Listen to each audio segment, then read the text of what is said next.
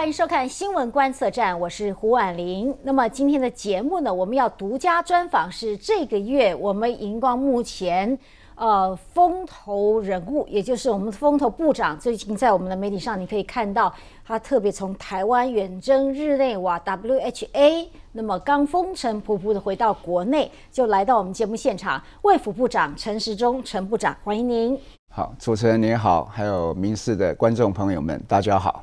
好，呃，我们这样讲，其实出国之前就听到 WHA 呢，依然跟过去一样没有发出这个邀请函，但你还是过去了，这是第二次前往了。对，那同样，当然，如果从扣关要进能够参与这个来讲，我们一样铩羽而归。嗯，那更是这是第二次了，那你感受如何？我们当然跟台湾的人民一样，我们感觉是愤怒的了。哦，今年我们第二次仍然没有办法进去。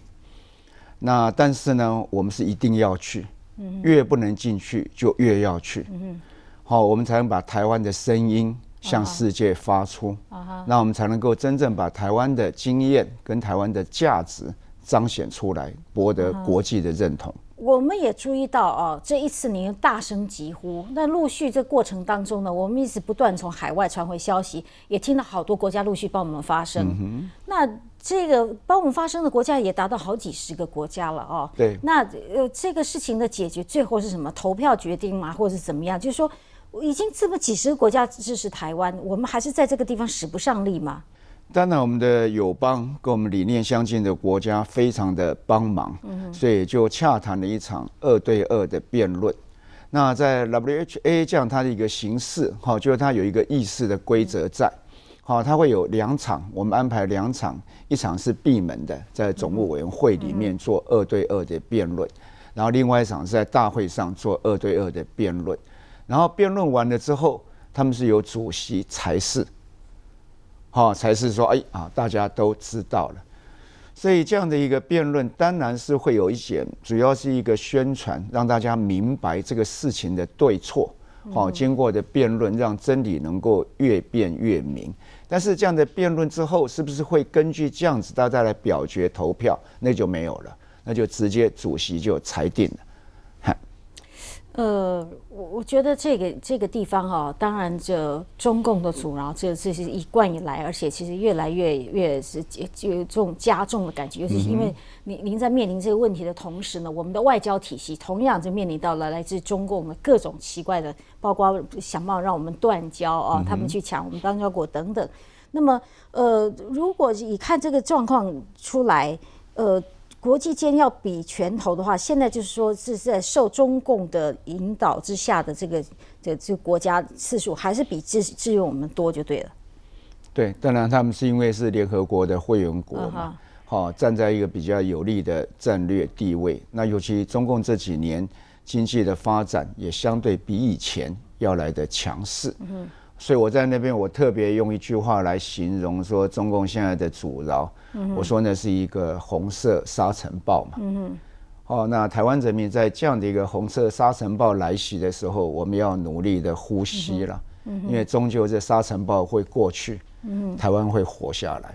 大家要叫互相来勉励、坚持，哦，终有一天我们会战胜一切。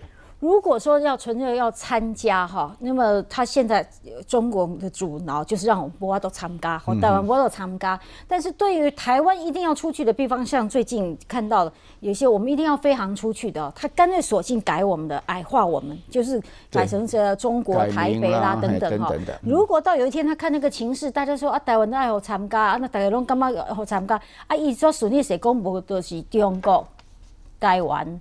还是中国台北啊那边呐，或者他说是，或者说这中间中华台北像这样的名称，对，在万一是用这样名称，两年没有办法进去，可是前面那八年里面，那时候用的就是 Chinese 台北，嗯哼，哈，就是中华台北，但是我们现在我们就希望用台湾的名称能够进去，嗯哼，所以你在任你会坚持用台湾的名称。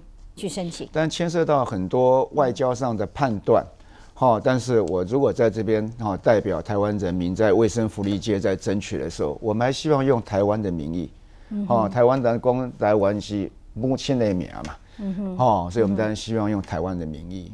不过这牵涉到很多国际情势的判断。好，那当然，因为这是中共最不想见的，他不绝对不让我们用台湾的名义啊。对，我想这这是不道德的了哈，要改人家的名字是不道德。然后我是某某人，你就是说主主持人说，如果我要上节目，一定要改个名，那我就不来了，对不对？哈。所以，他如果是他硬要改我们名，换成我们不去了，W H I 共啊，赶赶快得利嘛。如果他硬要我们用他他要的名字，我们啊，往那不爱去呀，是不是呢？你若问我，我是敢不敢安尼啦？但是我讲过，这是国家跟国家之间的一个相关。那经过这外交单位，他要做一个很明确，陆委会大家要一起来商讨，哈，整个衡量整个形势，怎么样是对台湾最有利的？嗯，但路是弯的啦，哈，谁来谁给变了哈？因为在国际间影响视听的一个大国就是美国，哈，美国呢，在这一次呢，其实是。是很支持我们，非常支持我们。哎，非常支持我们。对对，从哪里看呢？我们最后一天才跟美国部长举行我们在台美双边的会谈，嗯那谈得非常的愉快。因为这次美国卫生部长来的时间相对的短，他只来三天，跟他讲说，他无论如何，他要在回去之前，好，那最后一场的会议一定要跟我们开，嗯然后很清楚的跟我们表达，就是说未来。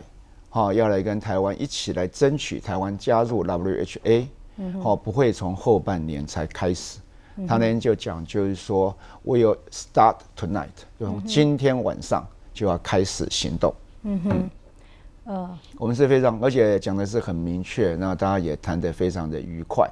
那他也表达对台湾相关的一些公位的制度、鉴保的制度，都觉得非常有兴趣啊，希望跟我们能够多对谈。这样制度的一些建立跟改善。嗯哼，我看这一趟出去哈，虽然已经预期进不了那个真正的这个与会的大门，嗯，但是呢，也是有成果的。我还听说你也获奖回来，有奖。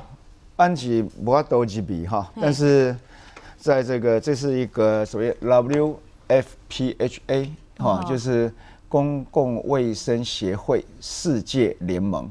好，这是 WHO 下面有正式关系的一个组织，它有一百五十几个会员，好，所以他特别颁了一个奖给我，好，但其实这个奖我很清楚，这不是刚好我啊，定啦，好，这个奖是颁我台湾，哦，是肯定我们这样公卫的学者专家，大家长期对台湾公共卫生，好，的还有我们健保医疗制度的建立的一种肯定。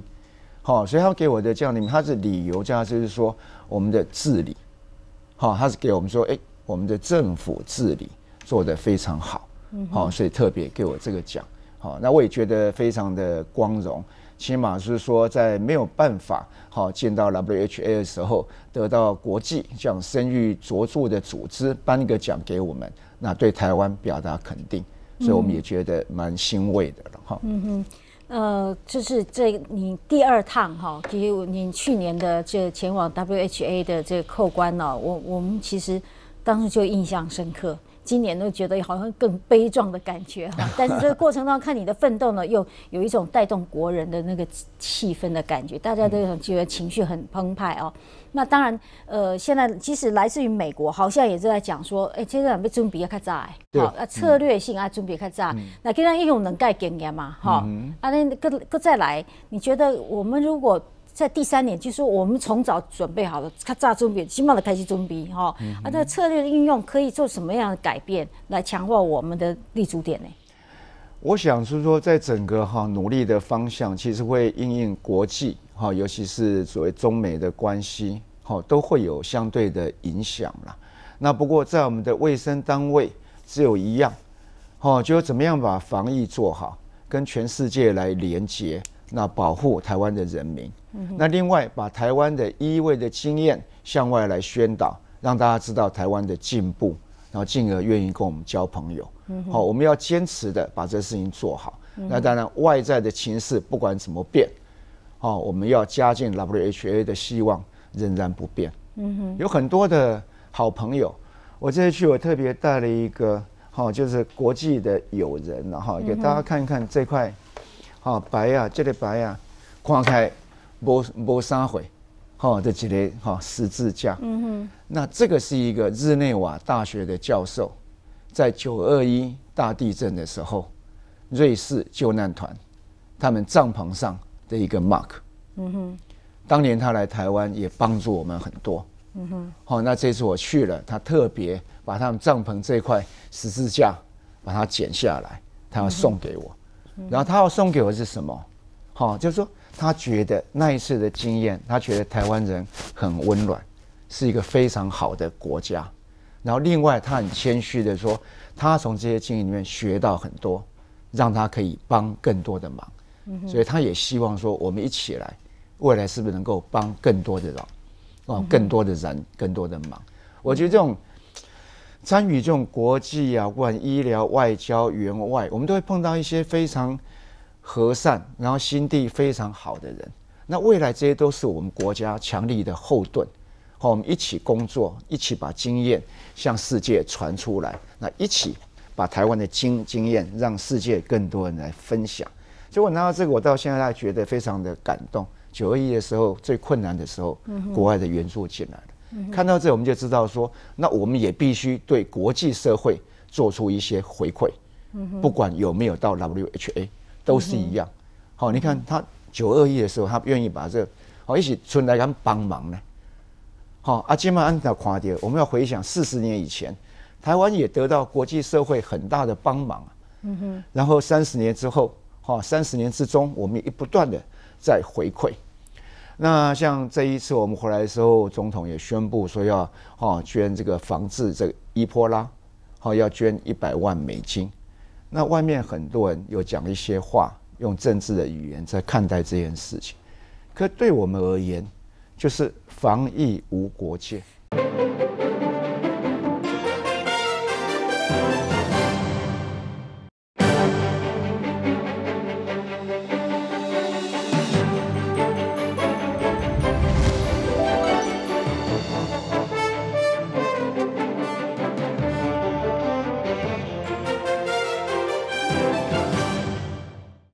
万美金这个事情是在你出国之前呢，总统就有这个打算，还是你回来跟他报告之后，总统就想说不但来关一百万美金，是当时开始有决定。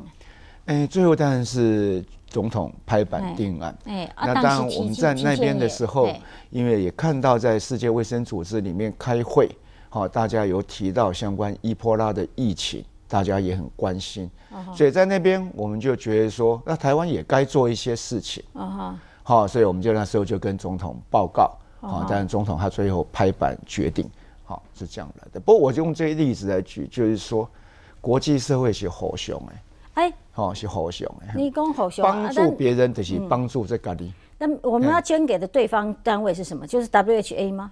当然这要由外交单位哈，他们去寻找一个最适合的路。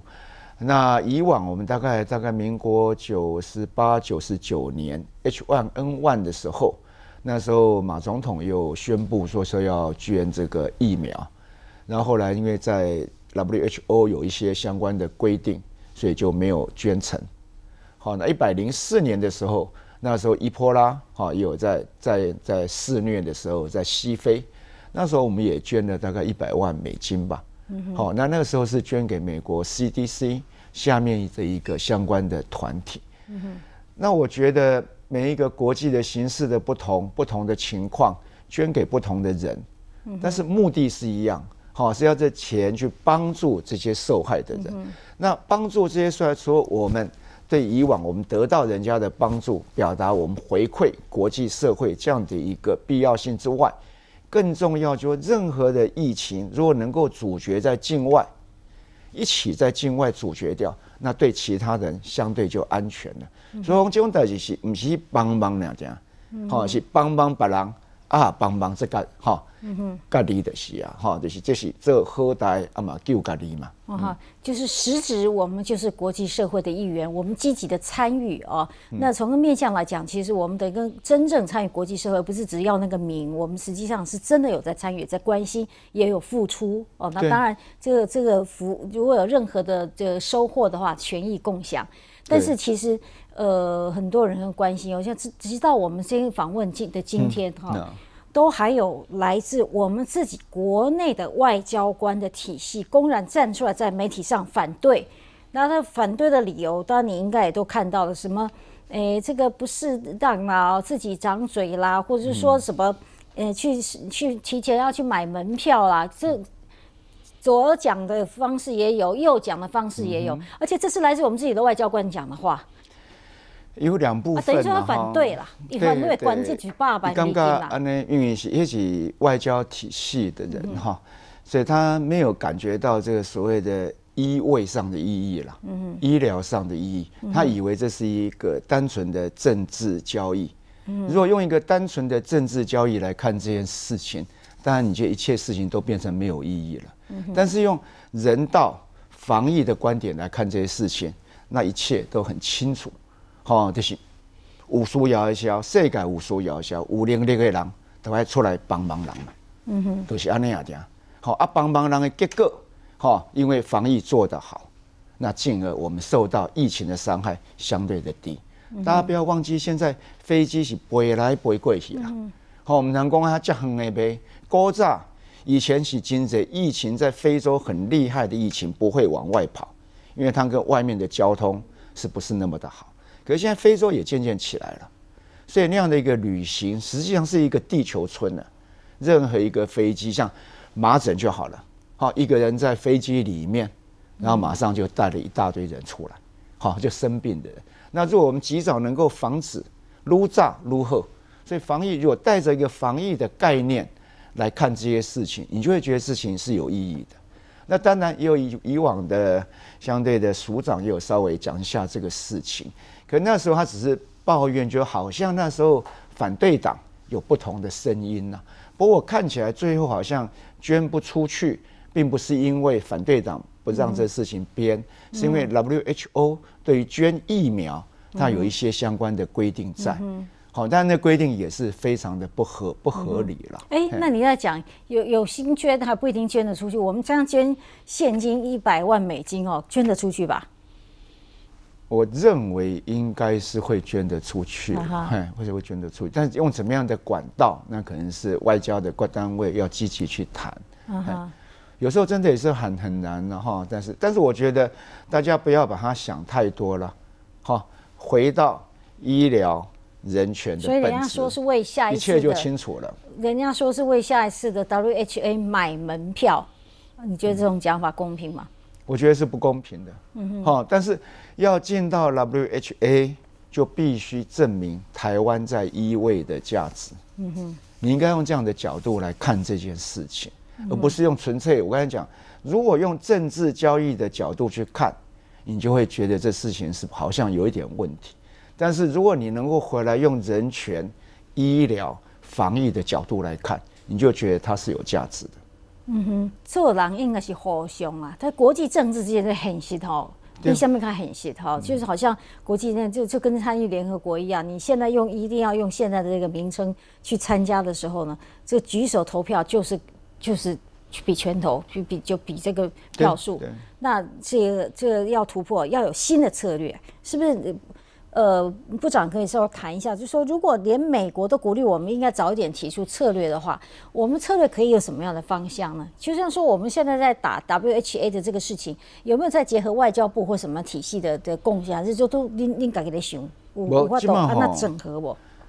等于你哈，第一年的时候，其实外交部侨委会跟我们。好，那种合作的上面哈，就有一点比较陌生。嗯哼。那经过一年的磨合，我们今天就合作的非常的好，这个团队变得就，好，就是能够配合的非常好。那我相信明年会更好。那今年我回来，我刚回来，我在礼拜六、礼拜一、礼拜一，我就给我们国合会就写了一张条子了。好，我说两个礼拜内，好，请拟拟好明年的战略目标。跟我们要配合的单位跟整体的计划，好，两个礼拜不两个月，两个礼拜之内，所以我们也要及时的行动。那但会怎么样来动？哦，坦白讲，这还是要不能够太公开了，嗯，哦，因为必然在哦这样的一个外交的体系里面，哦，那保有一定的这样的一个低调哈，那不要把我们的行动太早曝光，就不要把真正肚子里面的策略哦，它太早曝光给人家知道，公了这个破功了，对不对？对，对。不过话说起来，我们要积极参与国际社会的，尤其在这个呃卫福方面的话呢，公共卫生方面的话，至少我们是一个 helper 哈，不是一个寻求人家协助的对象。也就是说，我们这方面做出好成绩，可以引领大家，可以协助世界各国。所以我们的很多的防疫啦，很多的事情，应该也要做得很好。那有几样事情，我们在今天部长来到节目现场很难得，我们也顺便来关心一下哈。这样，我我们其实多少都有些零星的一些我们国人自己的遭遇，或许你可以跟您打听一下。比方说一两个月前，从三月底一直到四月初哦，我们台湾也有麻疹。对，哦，那那现在这个疫情不知道就是是不是都都掌控得了了？哎，麻麻疹的疫情已经告一段落，我们到五月十四号。啊，所有的监控的人时间都到了，就没有另外一波起来。不过在这一波里面，我们在这一波的虎航这一波开始的新感染，我们大概就是有十七位感染者。好，那其实，在冲绳啊，在日本，它感染者都比较多，都是同同样一个病源。好，那之所以会这样，就是因为我们的疫苗的涵盖率非常的广，我们大概有九十七趴。所以，我们就是说，的疫苗到达一个年纪，二十年之后，可能它的那种免疫力就递减。好，但它仍然有一个防疫，除了对个体的防疫保护之外，其实很重要是要形成一个社会保护力。好，所以伊特别传足紧的，因为等可能无为人是无防护力的，为人是有，但伊等掉拢有的，都看不起。啊，你大家拢无的，好，边边变变就往外散。所以，台湾这样的一个疫疫苗的一个哈。我们的策略长期以来非常久以来，慢慢慢慢增加，好，那到现在我们大概涵盖率都有百分之九十七以上，那对台湾的这种健康的帮助是很大的。很很多的流行性的东西哈，出乎其然，有时候这个这个这个在考验我们的很多的这个防卫上面的死角哈，或者一个不小心，像我们刚才讲到的这个麻疹呐，好，那那个水痘嘞？其实前一阵现在刚刚的哈，刚刚开始这几个这三个礼拜吧，大概前第前面往前数，大概九百五十几个病例，然后上个礼拜哎上上礼拜九百一十一个，那这个哎然后上个礼拜是七百多，慢慢在少，那九百多个也不算多，不过同样要呼吁，好，第一个就是这些防疫都差不多，个人就洗手的功夫真要紧，唔通随便洗，好洗有靠婉转的。啊，左搓右揉，上下冲洗啊，那哈。然后第二个有状况的时候戴个口罩，那避免进出人多的地方。那水痘尤其要注意，就是说当你的结痂，哈水水哈水泡比较多的时候，好那时候是有传染力的。那一直要到完全干了结痂之后才没有传染力。所以当有传染力的时候，好那站在好自我自我健康管理的角度，那就尽量不要出门。那如果需要出门的时候，长袖衣服、口罩相关的都要带着。嗯哼，哇，这个部长其实这个观念整个观念哦，就全部都放在脑袋里面很清楚。那其实最近呢，大家很关心呃，台湾现在开始拉警报，就给爱看醉了哈。那么有有些局部地区都有开始有在限水的习惯。那你知道在卫生上面，就是说。比较缺水，就面临挑战就大。嗯，就是你刚才说的要卫生，这个水洗起来就感忧啊。你是不是大家都能够那个免免水的那些那些清洁方式哈？不知道。但是缺水就在公共卫生上挑战就很大。对，这个时候我们有什么特别要注意的哪些地方？我想哈，就是在防疫上面，让维持自己身体干净的水就不要省了。好，那但一般的浪费，譬如在洗澡的时候，不要把水就放着一直流。好，其实那个浪费的水是最多的了，好，所以相关自我在一些相关的行为注意，不要浪费水，但是维持自己身体健康、手的干净的这些水不能省啊，因为干净就是防疫的第一道线，好，是干净是防疫的第一道，那是很重要的。嗯，其实卫福部啊，这管理的事情啊，实际上是千千奇百种啊，是非常的多。而而且说起来，我前我看您好像还蛮关心有关于这个。呃，未来这个托育的问题，其实台湾的少子化是很多部门都要注意的，所以要劳动到行政院长都讲话了，好说这个生小孩要补助啦，生养育的时候要补助啦，哈等等。但是好像卫福部也在做这相这相关的规划，你们可以在这部分呃能够协助民众什么呢？哎，这次我们行政院刚刚公布了跟我们卫福部直接相关的啊，就是零到二岁这一部分。那以往呢，我们大概有两个事在做，一个就是有一个等于是一个育儿的津贴，哈，那一个是送托的补助，我们大概有这两块在做，但是以前的涵盖率没那么高。然后我们这次呢，我们把这个所谓的津贴的部分，嗯，几乎把所有的只要没有送托的，嗯，都会领到两千五。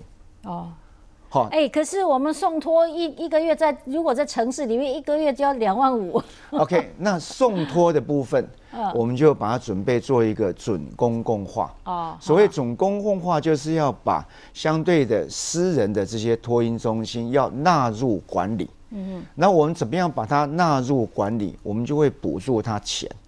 那补助他钱是为了减低好我们家长的负担。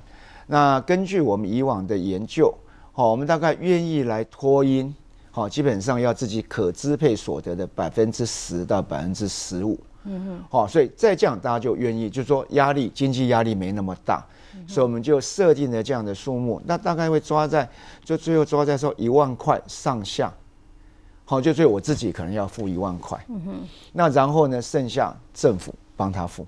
嗯哼。然后政府要帮他付多少？我们现在付六八十，就一般的人我们付六千，中低收我们付八千，然后低收我们付一万。所以我们现在设定假定说，我设定他是收一啊，就一万块打些拉没 key 啊。另外我一般人我补六千，OK，换句话就是一万六。那一万六我就跟这些私托讲，就说我一万六来跟你们签约，那我要把你们管理。OK，那刚才讲到说，也有人很贵，两万五，好，两万五我们可能就买不起。嗯哼，但是呢，有些地方政府，比如像台北市、新北市，相对比较有钱的单位，他可能就是说，哎，我如果用一万六，我买到的不够多，嗯哼，那我政府可能再补贴一些，好让他买的多一点。那我们现在希望我们这能够买到这样的一个服务，我们希望能够买到八成呐。嗯换句话说，让现在现有的私托。它能够这样的一个社会资源能够活化，然后做最好的贡献。那因为它是准公共化，我们有补他钱，好，所以必然我们就可以跟他签约上面做相关的管理。好，那所以对于老师的薪资啦，各方面啦，让他收托的比例啦，范围多多大，他都可以做。然后另外呢。我们还可以，就是说，我就跟他讲，就是说，他最诟病的就是是不是有巧立名目的问题了。好，那我们的管管理方法很单纯，就跟我们鉴宝一样，就是所谓的正面表列。好，你要收什么，你都要先讲，然后让资讯透明来。比如说，哦，我如果你早一个钟头送来，我要怎么收？好，那每一天我就每一天我要晚两个钟头才来接，那肯定要多一些费用。那这些都要透明来。那你要更改费用，你必须跟第一方我们社会局啊来报备，然后他见他准了以后，你才能够改那个表。嗯哼好，所以我们是把希望把这样的一个社会资源，现有的社会资源做最大化的运用。对，就如果是这样的规划哈，就不用像很多我们很多的同仁都是挤公托哈，就非得公托没有排上就要请留育婴假。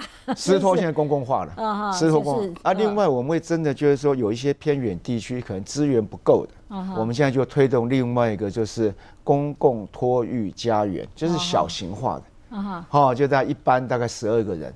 这样的小，因为它小型化，所以它可以跑得比较远，跑到比较偏远。因为你偏远地方，你大型的收不到学生嘛，哦，那小型化，所以我们带两个，一个现有的，我们就是推总公共化，纳入管理，做最有效的运用。然后在比较偏远的地方，我们希望有公共托育家园，好让大家可进性变好。这是个方案呢。那真正上路什么时候可以可以享用到？嗯，今年八月起我们这样就开始了。哇，就是两三个月后就可以了。对，就要开始哦，那很快来得及了。这个这个家庭在怀孕当中呢，还得来。现在生还可以。对，现在生还可以。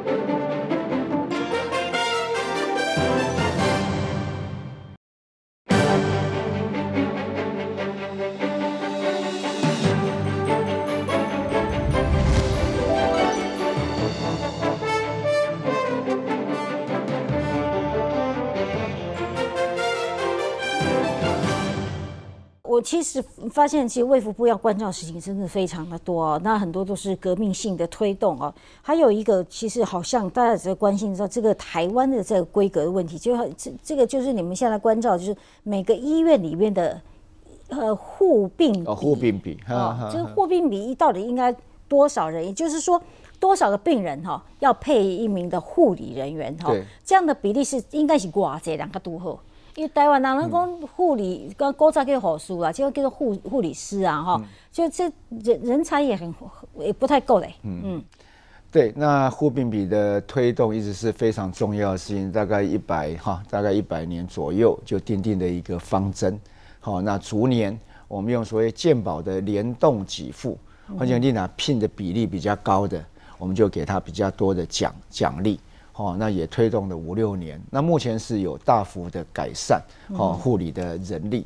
但是呢，我们大概今年吧，我们把它做一个初步的入法，我会把这样的一个规定的比例入到我们的医疗机构的设置标准。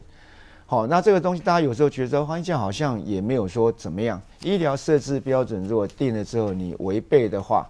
跟我们以前用评鉴的方法就不一样，你违背了医疗设置标准而没有办法改善，你可能会会被有歇业的可能性。好，那处分会到歇到歇业的可能性。不是人相对的，可是人力资源来源够嘛？比如你这个点点些医学中心，比方要九个人哈，这个比可能是九个人，那区区域可能十二个人，在更地方还有十五个人哈，这不太一样。每个阶层你这样子要求以后。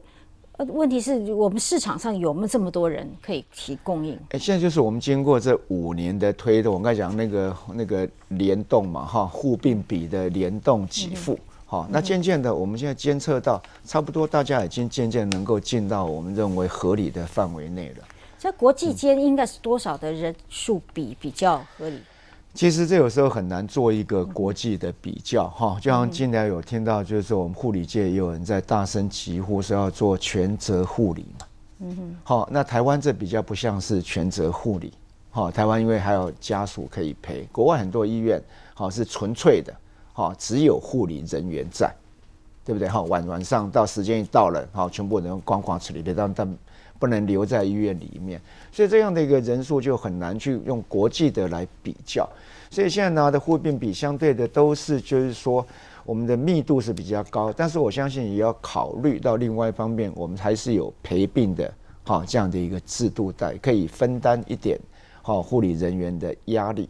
不过有陪病的制度在在，它有不好的地方，因为它毕竟不像护理人员那么样的一个专业，好，所以因为陪病的时候，那护理人员就变得比较少，那反而让病人的安全可能有受到伤害。所以未来，好未来哈比较长远的计划里面，可能推向哈全责护理，哈也是一个好的方向。不过我们人民有时候，我们的同胞哈有时候觉得说，阿龙叫不人情味，嗯哼，好 所以用阿龙刚挂挂出来都没当背，嗯哼，好不过这是两条需要去平衡的路，那我会不断的跟社会沟通，跟护理界来沟通，还有医院沟通，看怎么样是最适合台湾人民的照顾体系。嗯，呃，其实刚才林林总总考了我们部长这么多的问题啊，其实最前面那个其实是以。这个公共卫生为名的外交，一直到现在，实际上这个在在这个公共卫生领域、在医学领域、在这个呃家庭照护方面的这个每一个哈这个挑战，其实我们可以看得出，部长是一个很有活力、有执行力、也有想法的。好，那您其实是医生出身的，我自己是牙医师。哎，对，然后你后来又从事医事的管理，在这个医院院所，你是属于管理阶层，也累积了这些经验。但现在其实。